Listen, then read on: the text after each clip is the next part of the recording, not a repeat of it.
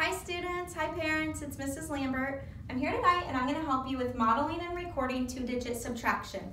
This is also on the homework. It's for Go Math Lessons 5.4 and 5.5 and all of my examples are problems that you can find in those lessons throughout the homework. Let's get started. So this is a 5.4 and in 5.4 it's going to break it down for us where we can see our ones, we can see our tens and it's labeled and then over here is our area where we're going to draw. The directions tell us that we need to draw what's happening. So if I'm going to look at this, I have 43 minus 17. The first thing I need to do is draw my 43. One, two, three, four tens. One, two, three ones. Then I'm going to see that I need to subtract 17. Well, starting on my one side, 3 minus 7 if I only have three ones, I can't take seven away from that. So I'm gonna need to take a 10 from over here, and I'm gonna break that down and regroup that instead of a 10 into 10 ones. Six, seven, eight, nine, 10. Now I need to show what I've done. So I've taken my three, and I don't have three ones anymore. I have 13 ones now.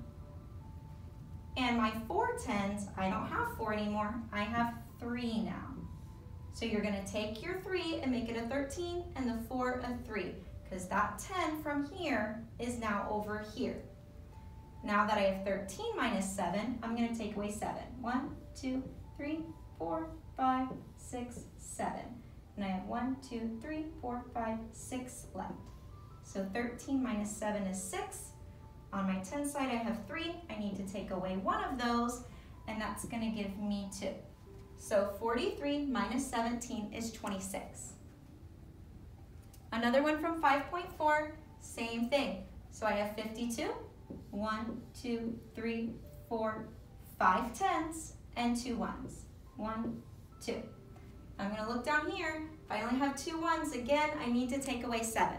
And if I have two of something, I can't take seven away from it.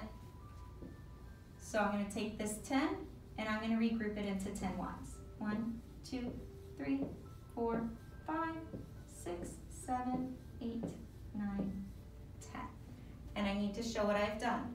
So I no longer have two ones, I have 12 ones. And I no longer have five tens, I have four tens because I took the 10 from here and I moved it to my one side. So now I have 12 minus 7, and I can do that. 1, 2, 3, 4, 5, 6, 7. And that leaves me with 1, 2, 3, 4, 5. And then I'm going to come to my 10 side. I have 4, and I need to take away 3 of them. 1, 2, 3. That's going to give me 1 left. So 52 minus 37 is 15. When you get into 5.5, they're no longer giving you the ones and the tens and where you have to draw it. So you need to look at the problem and decide what you need to do. A lot of students are seeing 47 minus 28 and they're giving me this answer. So help remind your student that you can't just switch the numbers. What I try to tell them is what they're doing is now making the problem 48, sorry, they're making the problem 48 minus 27 instead of 47 minus 28. We can't just pick different numbers because that's what we want to work with.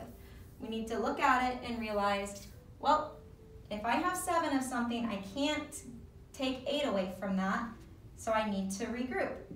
I'm going to cross out my 7, and I'm going to borrow a 10 from over here, and that 7 plus 10 is 17.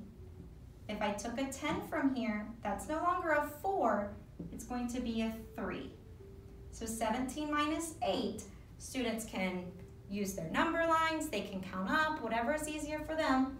So 17 minus 8, counting up would be 8, 9, 10, 11, 12, 13, 14, 15, 16, 17. 9 left. So 17 minus 8 is 9, and then 3 minus 2 is 1, so 47 minus 28 is 19. Another one. Another thing that students need to watch for is make sure they're only regrouping when they need to. I have 7 minus 6. if I have seven of something, I can take six away from that. But I have a lot of students that are crossing out and trying to regroup for no reason. So, always think, is this a bigger number? If that's a bigger number, I'm good to go. So seven is bigger than six. If I have seven of something, I can give six away. So seven minus six is one. Seven minus two is five. So 77 minus 26 is 51. Last one, I have 52 minus 25. So if I have two, I can't take away five, so I need to regroup. I'm gonna cross out my two since I'm taking a 10 from over here. 10 plus two is 12. My five is going to become a four, and now I'm ready to subtract. 12 minus five is seven, and four minus two is two. So 52 minus 25 is 27. I hope that helps. Thanks for watching as always. Please message me if you still have any questions or concerns. Again, we do have our test on Thursday. A review of all of the videos from this unit would be really helpful in helping on that test. Have a good night.